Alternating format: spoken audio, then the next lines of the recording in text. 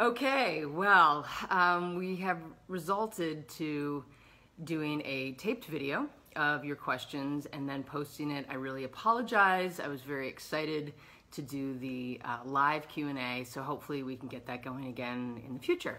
So my uh, lovely assistant here is going to read the questions and I will give the answers. All right, first question. So you've worked with extremely stunning slash hunky people and done your fair share of intimate scenes. Who has been your absolute favorite and absolute worst? Fess up, girl. Wow, that's a pretty potent first question. Um, let me see. It's really hard to say. Um, you know, you always hope that you have good chemistry with people um, when you're working with them. Some you naturally have better chemistry with than others, just like uh, when you date someone, sometimes you gel better with one person than the other. Um, so I, I, think overall, um, I just really hope that they're up for it. I think that's the most important thing. Like you really want someone who's equally going to go for it like you are, or at least like I do, because um, I, I tend to go for it. So um, I think that's the most important aspect. Do you plan to shoot in a French movie? Are you you are a part of a famous American actresses that we like in France, oh. and would you be delighted to get this opportunity to work with a French director? Ah, that's a beautiful question. Well, first, thank you very much. Um, you know, ironically, I was just thinking this morning uh, how much I would love to do a foreign European film. Um, so, yes, I would love to work with a French filmmaker. You have so many great talents there in France. Um, it's such a beautiful country. I love going there. Um, Paris is just one of the most stunning cities in the world, and I had the pleasure of um, promoting Painkiller Jane, my TV series there, uh, with my father. Um, and we went to the Gérardmer Film Festival uh, where I sat on the panel, which was really fun. So, uh, yes, I would love to do a French film from John Roberts. Hi, do you have any favorite acting roles, whether it was in movies, TV shows during your career? John Roberts, thank you. You've been um, such a supportive uh, fan. Appreciate it. Um, do I have any, uh, what was it? Favorite acting roles. Favorite acting roles. You know, I think the best is yet to come for me, in all honesty. Um, I have to say, I really enjoyed collaborating with my father on Fighting for Freedom. That was a really special experience. We got to uh, shoot it in the town where I grew up and on the farm where I grew up and uh, really immortalize the farm in all of its glory. Uh, and that was a very special story that was near and dear to my heart. So, uh, and getting to work with the legendary Bruce Dern, I mean, he's just an incredible actor and human being, and that was a real joy for me. Um, so I loved Fighting for Freedom experience, um, but truthfully, uh, I think the best is yet to come. So we have some exciting things in store with Trio Entertainment, my new production company that I'm launching. So look out. So Jason Backus asks, if they ever made a sequel to Terminator Genisys, would you be the TX again if called on? You know, I would love to reprise my role as TX. Uh, TX is this wonderfully iconic female badass cyborg, and um, it was a real testament, I think, to myself, to the level of training that I did beforehand and preparation uh, for the role. Um, and you know, the the Olympics was going on when I was auditioning for that job, and I had many auditions. I think I had like eight auditions, and I really felt like I was doing my own Olympics. And um, I would love to enter my own personal Olympics again and uh, play TX. Carl Nelmus asks, Painkiller Jane is one of my favorite series. Very Yay. underrated, in my humble opinion. Thank if you. offered the chance, would you go back to the role? Yeah, you know what? I gotta say, I absolutely loved shooting Painkiller Jane. Um, Jimmy Palmiotti, as many of you know, who created the character and the comic book, and who is now my partner in Trio Entertainment, um, has become a great friend, and he's an incredible talent. And I loved that character. I thought she was so rich in. Um, you know, the one thing that she showed on the external side, um, but she yet had a lot of depth and was really struggling with this ability to heal, but yet be impervious to pain. So, um, I also loved being the co-exec producer on that show. It was an incredible opportunity for me to learn how to produce television um, and wear two hats at once. You know, do 10 pages of dialogue a day and then also look at location tapes and, I mean, acting audition tapes for other characters and deciding on different locations and just a whole gamut of responsibilities that I had. And, you know, I'm a workhorse and I love to work, so I love the challenge. Danny Stewart asks, What were your memories of working on Mortal Kombat Conquest? Ah, Mortal Kombat. That was my foray into the acting world. Uh, not acting world, the action world. Um, you know, Mortal Kombat was was special because it was the first um, series regular lead that I had. Um, so it really prepped me for um, churning out 22 episodes um, back to back to back, learning dialogue after dialogue after dialogue, um, and also having a physical awareness um, in the martial arts realm that was different and unique for me.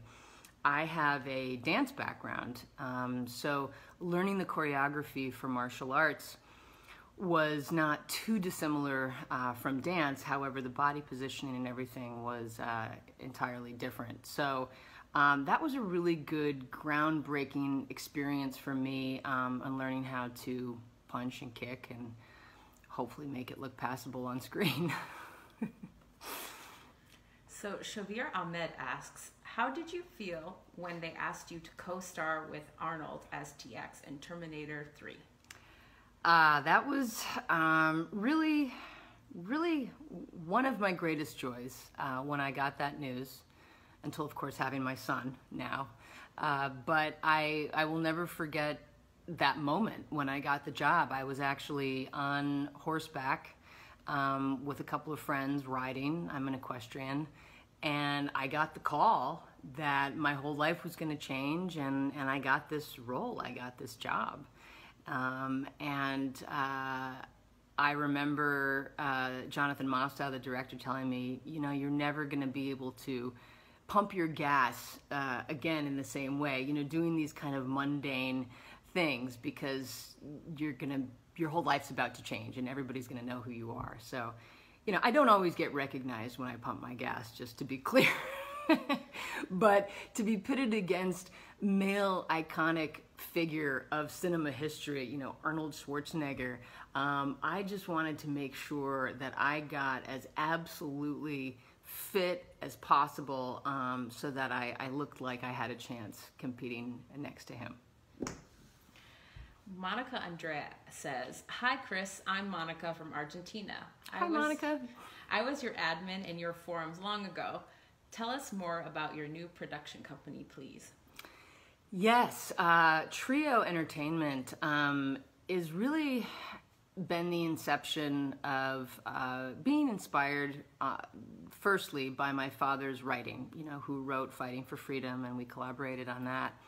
Um, and he's just got such a great body of works that I wanted to get them out there. And I also wanted to create the roles that I wanted and uh, be able to produce the films and work with the people that I wanted to work with and just have more overall creative control. Um, so I thought, who's a wonderful person that, that potentially would want to partner with me? And that's when I came up with the idea of Jimmy Palmiotti, who also has uh, such an extensive amount of intellectual property um, that would be wonderful to see on the screen um, such great graphic novels that he's written through the years. Um, and then it comes to uh, my wonderful fiance, Jonathan Bates, who works in finance, and he heard me talking about this company. And uh, he said, You know, I think I might have a unique financial infrastructure uh, for you to help raise capital for the company and the brand. So this is really the marathon um, company for me. You know, I don't want this to be a sprint, you know, just one movie and that's it. Like, this is going to be a brand, this is going to be something big, um, not only with our body of films and television that we want to produce, but also um, hopefully in acquisitions down the road. James Oler asks, will Body of Deceit ever be released? Been waiting for years. You know, you and me both. I, uh, I really like the film. I gotta say, when I read the script, uh, it was uh, a very kind of dark, sexy, film noir esque um, love triangle between two women and a man. And, uh, you know, everybody knows that I enjoy working with men and women on screen, and especially in a love triangle. So I thought uh, this had a really unique twist. And, um, I really enjoyed shooting it. We shot it in Malta and we had some interesting actors uh, and hopefully it will get released. I hear that it will. Um, I guess they had some, some technical issues um, with the project, but that are getting um, that are getting figured out. So yes, I, I hope that it's getting released very soon. That's what I hear, but I don't have an exact date for you yet. So Siddhant Roy from India says, "Love from India. What's your favorite dish?"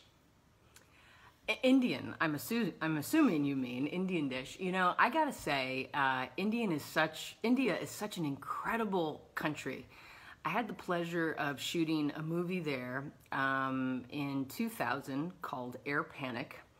Um, I turned 21 there, which is a pretty big age here to turn in the U.S.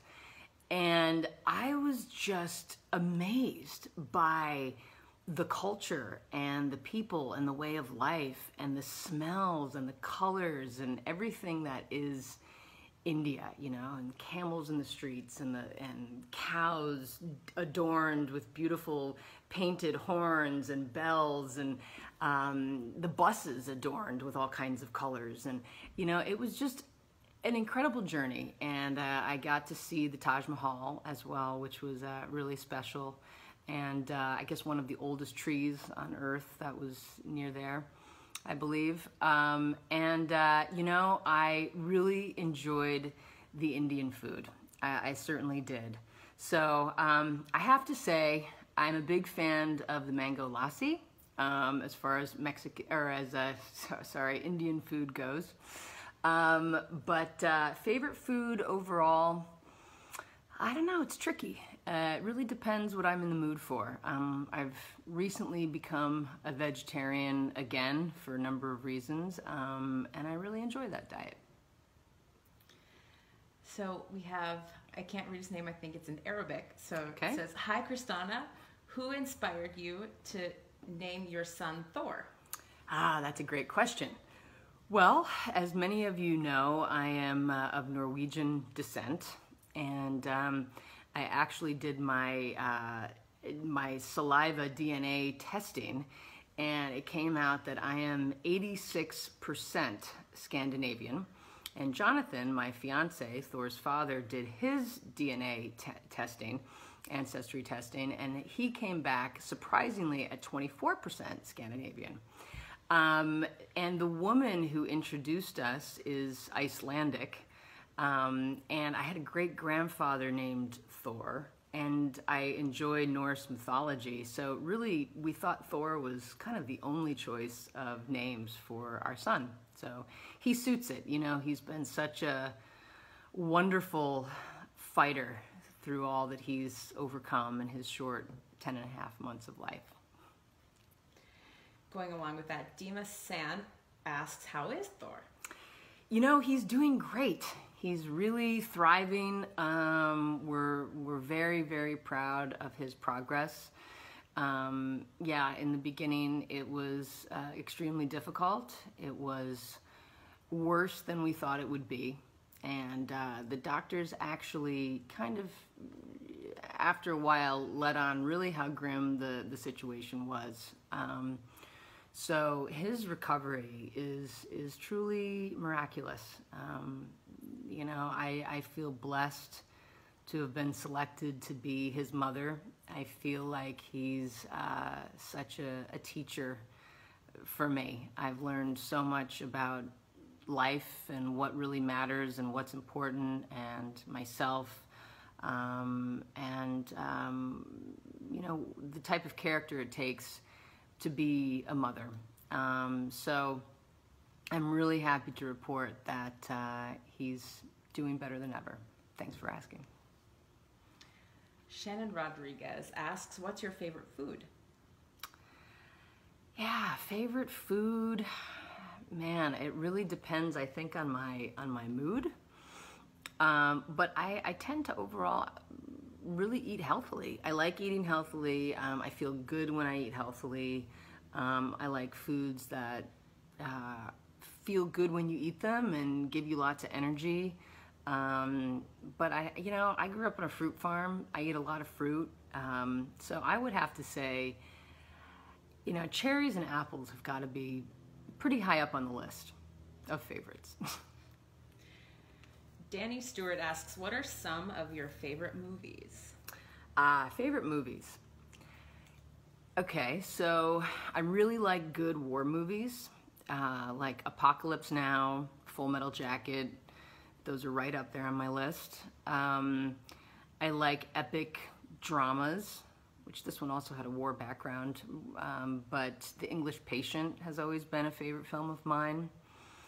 Um, Helen Mirren is my favorite actress. I watch everything and anything with Helen Mirren. I would absolutely love to work with her someday. Um, comedies, I really like Sideways. I, I just, I can watch that film over and over and over again and laugh just as hard as the first time. just laugh thinking about it. Um, and uh, let's see yeah, I think that's those are those are kind of up there in my favorites. So Milan asks, working with Schwarzenegger, how was that, especially off screen?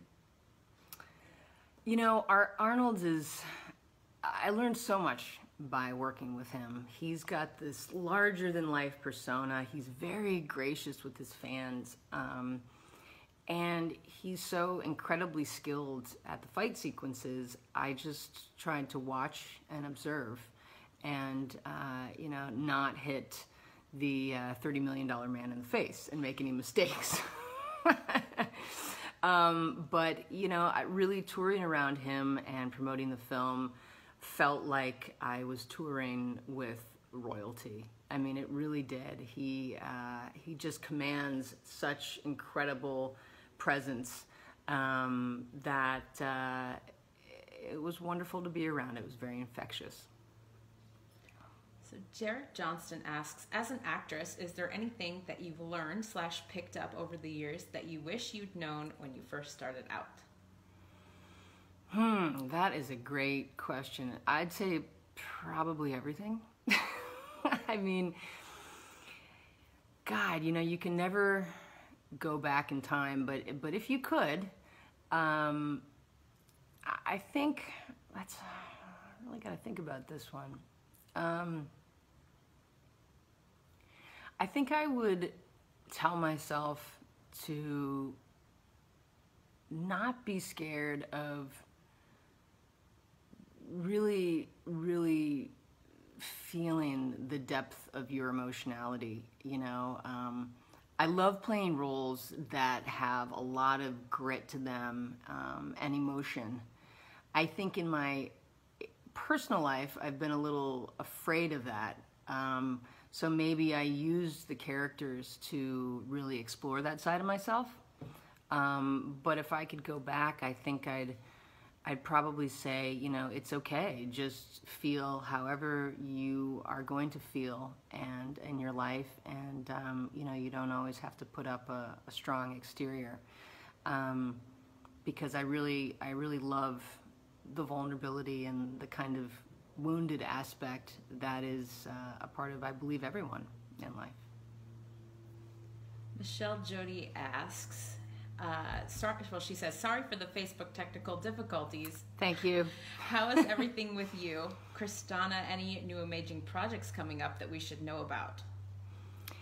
Yeah, life is life is great. I have to say, um, I am just so grateful um, for my health and um, having my beautiful son and partner in my life and a supportive family.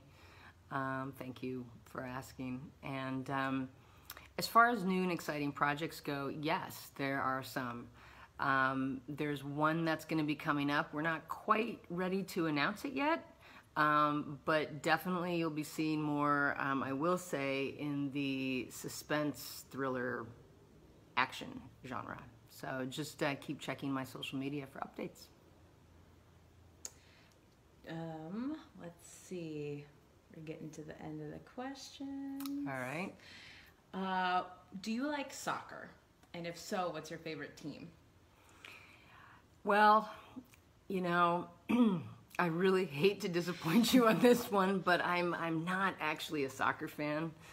Um, you know, I know soccer is is so huge and uh, around the world, and I think it's great that it's really kind of bridged the gap um, of of communication and way of life in in many many countries, and it's getting really popular here in the U.S. as well, but through and through, I'm an American and I really like baseball. You know, I'm a, I'm a big Chicago Cubs fan and uh, I'm very, very excited. I'm going to see them play the Dodgers on the 26th of May and I'm going to do this uh, very cool um, MLB uh, uh, show during the game, which I'll talk about on my social media. Um, but I'm very excited to see them and, and hopefully meet a couple of the players. So, um, you know, I'll have to uh, get back to you when I start watching some soccer games. James Oler asks, will you ever be at Fan Expo Dallas or Texas Frightmare Weekend again? Loved seeing you there, and it's been a while. Ah, well, thank you. You know, I just actually spoke to um, a booker of mine for the conventions, and we spoke of Dallas. So likely I will be there again, and, and maybe even next year. Debbie Duncan asks, if you had to be in one of today's drama, drama shows, which would it be and why? Ah, that's another great question. I really liked the show Vinyl on HBO that only had one season.